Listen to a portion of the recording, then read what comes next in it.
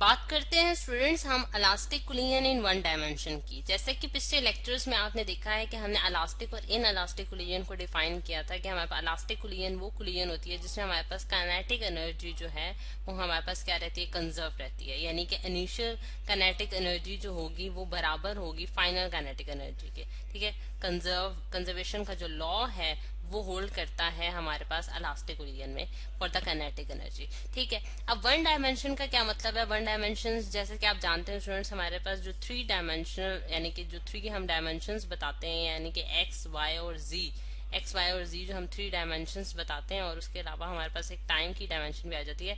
लेकिन अगर ओरिएंटेशन के लिहाज से देखें तो एक्स वाई जी हमारे पास थ्री डायमेंशन है।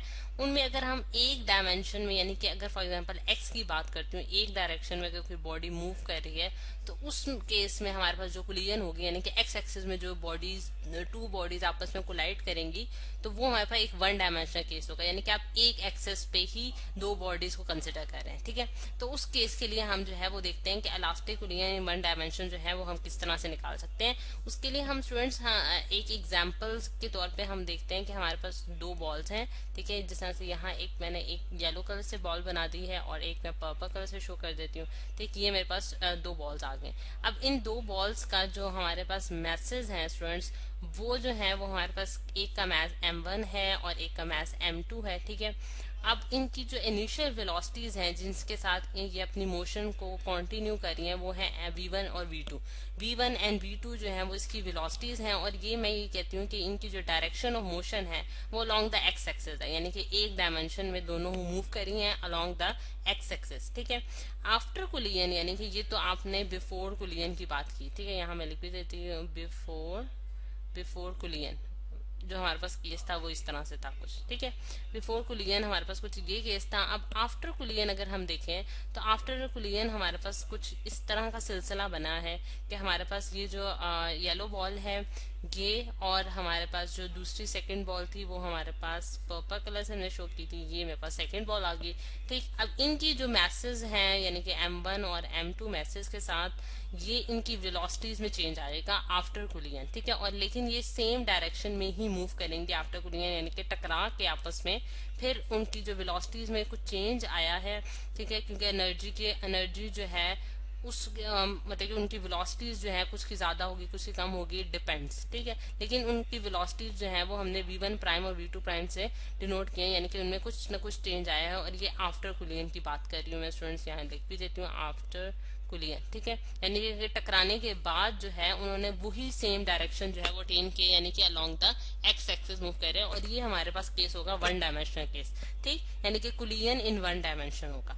अब अगर हम जो है, हम जानते हैं कि हमारे पास जो है लॉ ऑफ़ कंजर्वेशन जो है law of conservation of momentum जो है, वो हर केस में होल्ड करता है, चाहे वो अलास्टिक कुलियन हो, या फिर वो इन अलास्टिक कुलियन हो, ठीक है? यानी कि law of conservation of momentum जो है, वो हमारे पास दोनों केसेस में जो है, वो एग्जिस्ट करता है और वो होल्ड करता है, ठीक है? तो अगर मैं लॉ कंजर्वेशन ऑफ़ मोमेंटम के अकॉर्डिंगली जो है इक्वेशन लिखूं इन केसेस के लिए, यानी कि M1 और M2 मैसेज के लिए तो स्टूडेंट्स वो मैं किस तरह से लिख सकती हूँ कि M1 V1 ठीक है? Plus M two V two मेरे पास इनिशियल मोमेंटम है फॉर मैस एम वन ये मेरे पास इनिशियल मोमेंटम है फॉर मैस एम टू ठीक है? क्योंकि हम जानते हैं मोमेंटम जो है मैस और वेलोसिटी का प्रोडक्ट होता है। और इनके फाइनल मोमेंटम क्या होंगे? M one V one prime plus M two V two prime ये इनके फाइनल मोमेंटम हो गए। ठीक, अब इसी तरह अगर मैं इसी चीज़ को जो है वो किस तरह से लिख सकती हूँ, इसी इक्वेशन को अगर मैं एम वन वाली टर्म्स जो है एक तरफ़ कर दूँ तो मैं ये लिख सकती हूँ कि एम वन सॉरी इसके ऊपर प्राइम नहीं आएगा plus sorry minus v one prime is equals to m two into v two prime minus v two ठीक है, ये मैंने क्या किया एम वन और एम टू की टर्म्स को जो है वो सेपरेट कर लिया क्योंकि हम अलास्टिक कुलियन की बात कर रहे हैं स्टूडेंट्स यानी कि मैंने आपको बताया कि अलास्टिक कुलियन में हमारे पास क्या होता है? काइनेटिक एनर्जी कंजर्व रहती है। तो काइनेटिक एनर्जी कंजर्वेशन का अगर law of law of conservation of kinetic energy अगर मैं लिखूं स्टूडेंट्स इस केस के लिए law conservation of kinetic energy लिखूं मैं इस केस के लिए तो वो मैं किस तरह से लिख सकती हूँ? वो मैं इस तरह से लिख सकती हूँ कि मेरे पास जो काइनेटिक एनर्जी है, यानी कि half M one B one का square plus half M two V two का स्क्वेयर ये हमारे पास स्टूडेंट्स इनिशियल कैनेटिक एनर्जी आ गई फॉर मैस एम वन और ये मेरे पास इनिशियल कैनेटिक एनर्जी आ गई फॉर मैस एम टू ये मेरे पास बराबर हो जाएँगी किसके आ, हमारे पास final kinetic energy for mass m one और फॉर मैस एम टू यानी कि m one v one prime का square plus half m two v two prime का स्क्वायर ठीक है? तो ये मेरे पास जो है वो स्टूडेंट्स के आगे के law of law of conservation of kinetic energy के ज़रिए मैंने ये चीज़ लिख दी अब अगर हम देखें कि अब मैं इसके आम, इसको मजीद किस तरह से सिंप्लीफाई कर सकती हूँ अगर मैं इस इक्वेशन को सॉल्व करूँ यानी कि इस केस के लिए मैं अब मैं जानती हूँ कि मेरे पास हाफ़ की जो टर्म है स्टूडेंट्स वो थ्रू आउट द इक्वेशन जो है वो कैंसिल अप हो जाएगी। ठीक है? क्योंकि वो दोनों तरफ़ जो है वो कॉमन आ रही है। तो मेरे पास जो इक्वेशन बनती है यानी कि M one M one into V one का square minus V one prime का square is equals to M two into V two prime का स्क्वेयर माइनस वी टू का स्क्वेयर यानी कि मैंने क्या किया है? अगेन मैंने एम वन और एम टू की टर्म्स जो है उनको सेपरेट कर दिया यानी कि ये वाली टर्म को मैं जो है वो लेफ़्ट हैंड साइड पे ले गई हूँ और यहाँ इस वजह से माइनस का साइन आ गया और इसी तरह मैं ये वाली टर्म को उठा के राइट हैंड साइड पे ले गई तो मैंने m1 और m2 की टर्म्स को जो है वो क्या कर लिया है? सेपरेट कर लिया अब जैसे कि आप जानते हैं कि हमारे पास जो फॉर्मूला होता है, यानी कि a square minus b square का स्टूडेंट हमारे पास जो फॉर्मूला होता है, वो क्या होता है? A plus b into a minus b अब इस फॉर्मूला को यूज़ करते हुए मैं यहाँ जो v1 का square minus v one prime का स्क्वायर है, इसको मैं किस तरह से लिख सकती हूँ? ये आप देख सकते हैं कि मैं इसको इस तरह से लिख सकती हूँ कि m1 ठीक है into v one minus v one prime into v one plus v one prime और ये हमारे पास किसके इक्वल होगा? M two into v two prime minus v two into v two prime plus v two ठीक है? यानी कि बिल्कुल यही फॉर्मूला मैंने यूज़ करते हुए जो है ये, इस इस वाले जो ब्रैकेट है इसको ओपन कर दिया। ठीक है?